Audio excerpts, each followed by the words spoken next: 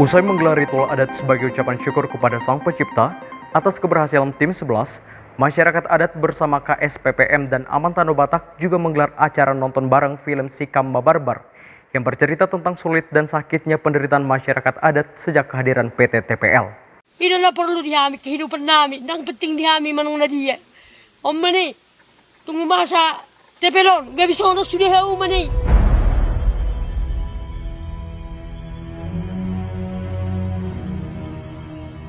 Coba pulp lestari. Jadi pulpnya terus katanya gitu kan. Eh, TPL ditutup bukan karena aksi jalan kakinya, TPL ditutup karena dosa-dosa yang diperbuatnya selama 30 tahun. Oh, pemerintah memberikan konsesi dan mereka tidak mau tahu bahwa di situ ada eh, komunitas masyarakat yang sudah hidup turun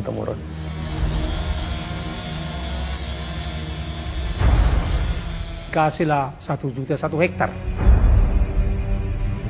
Syukur nggak ditutup, kalau ditutup ya ya itu memang kalau nggak ada solusi. Nagabi herang nagabi mago mamaing kop hodin do pungnami senda senda tinggiron alani tepelo. Dampak-dampak yang terjadi gitu ya, akibat beroperasinya perusahaan ini tidak hanya dampak ekologi tetapi juga dampak sosial begitu. Kami siap mati untuk membela tanah wilayah yang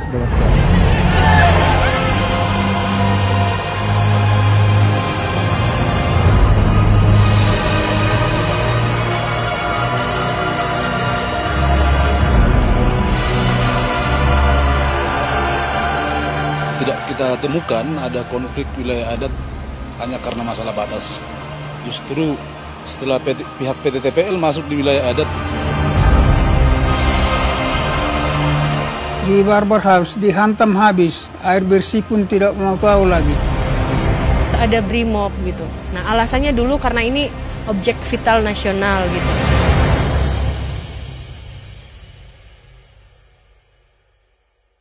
Film berdurasi 1 jam 11 menit ini bercerita tentang apa yang dirasakan oleh masyarakat adat selama tiga dekade sejak kehadiran PT Inti Indorayon Utama yang kini berubah nama menjadi PT TPL.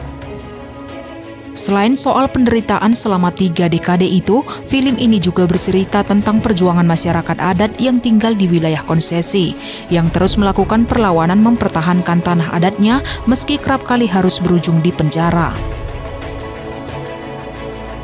Jadi film kali ini uh, kita sebut film dokumenter uh, berdurasi 1 jam 11 menit.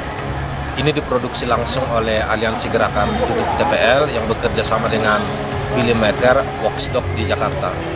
Nah, film ini akan bercerita tentang uh, apa yang dirasakan oleh masyarakat adat selama tiga dekade kurang lebih kehadiran Indorayon yang berubah nama kemudian menjadi TPL di Tanah Batak.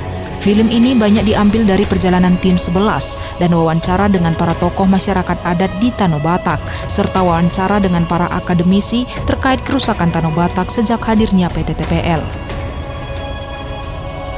Dari Kabupaten Simalungun, tim Toba TV melaporkan.